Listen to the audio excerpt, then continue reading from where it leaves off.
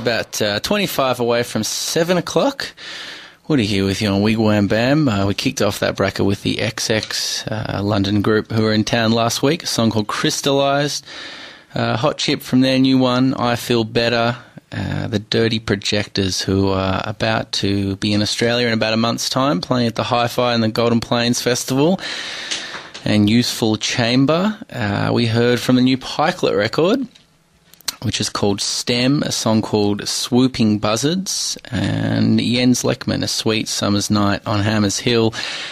And both of those artists are going to be involved in uh, what should be a great show on Wednesday night at a great venue, the Bella Union Room at Trades Hall. It's the uh, debut performance by Swedish performer Frida Havonen, who uh, is in the studio.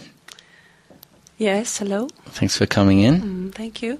Uh, you mispronounced my name a little. Oh, how do you pronounce your name? Frida Hyvönen. Hyvönen. Yes, Okay. I was going to ask you how to uh, pronounce your hometown as well. Oh, yeah, it's Flarken. Where you originally from? Uh, I grew up in Robertsfors.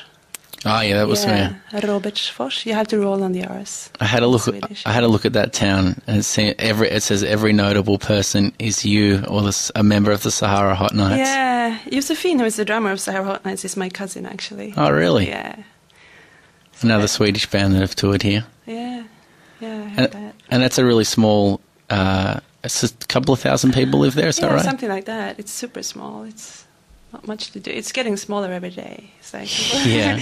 people are dying and no one is moving in. So Are you're not based there anymore.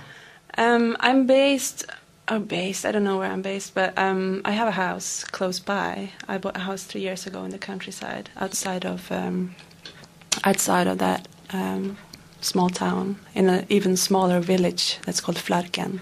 So that's where I have my house and my, my grand piano and my my soon to be studio. Yeah. You're right. You've just been in Bali for a month Yeah. performing. Mm, uh, yeah, I, I did a couple of performances. I, I was an artist in residence in a in a fancy, nice resort. Um, so I was composing. I'm writing music for a feature film in Sweden. So I'm, I was composing. I had a villa with a grand piano. I was sitting composing every day, and then I made two concerts there for the people, for the guests, and the people who work there. So Wow, yeah, good times. yeah, really good times. Mm. Escaping the Swedish winter. Yeah, it was nice to get a, uh, to get time to hang out with the ocean. Mm. turned out to be a very nice fella. Yeah. You know, yeah, Frida Huvenen yes. in the studio, just getting used to the pronunciation. Uh, Uh, it's close to perfection now. close, yeah. Great version just there. We were talking about off air of uh, American singer songwriter who's sadly no longer making music. Uh, Judee Sill, Jesus was a crossmaker, and uh, you were telling us you recorded that all by yourself, Yeah. uh, including all the backing vocals, Yeah, etc. It was a really low budget, and I wanted to be on that um, compilation with it was a or a tribute to Judee Sill. Uh, I heard about it, and I contacted them and said like I want to be in, the, in in this tribute, and I want to record this song. And it was a really low budget, so I just had to do it in my own house by myself. Mm. She had a pretty full on life, Judee Sill, isn't it? It's insane. Do you know much about it?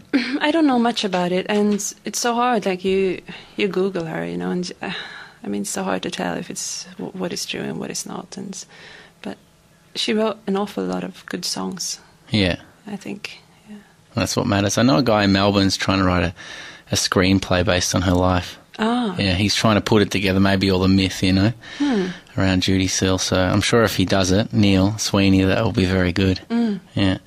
Um, so you've just you've been rehearsing this afternoon. Is it solo or are you playing with a band on Wednesday night? Uh, I'm playing with a small band. It's um, uh, Evelyn from Pikelet Mhm. and uh, Monica.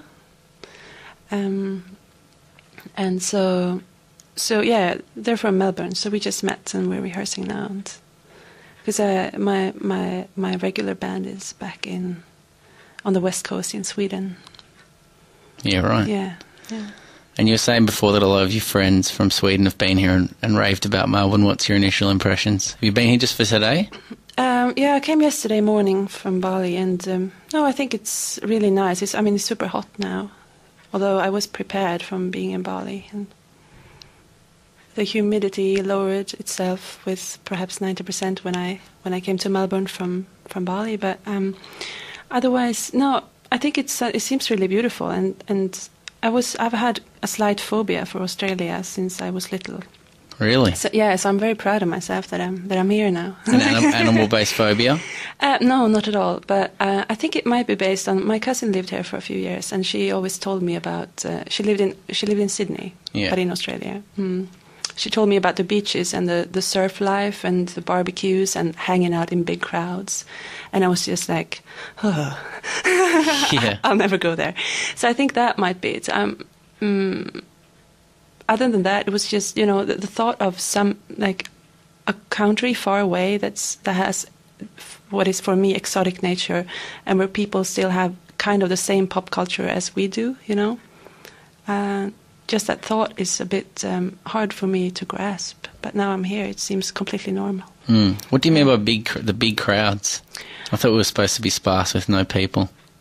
Oh no, she was talking about that. That Yeah. her life was like that. Um, that they were hanging out in big crowds, which was something that scared me a lot because I, I, I didn't really like that when I was a teenager. Yeah. Yeah. Okay. Well, good to have Do you you here finally. I understand. um, thanks a lot for coming in. Yeah, uh, you. Enjoy your two shows in Australia. Oh, thank you. And uh, we'll play a track off uh, Silence is Wild, your more recent album. Uh, this song is called Dirty Dancing.